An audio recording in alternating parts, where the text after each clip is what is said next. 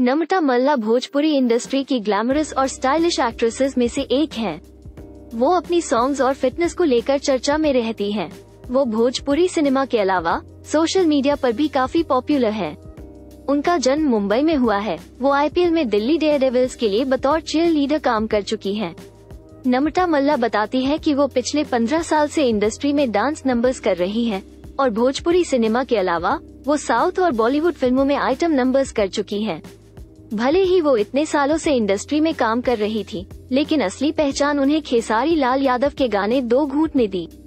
गाने में फैंस को खेसारी लाल और नमटा मल्ला की केमिस्ट्री काफ़ी पसंद आई, और ये गाना बहुत वायरल भी हुआ।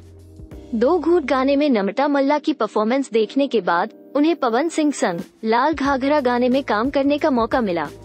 फैंस ने दो घूट की तरह नमटा और पवन सिंह के इस गाने को भी काफ़ी पसंद किया।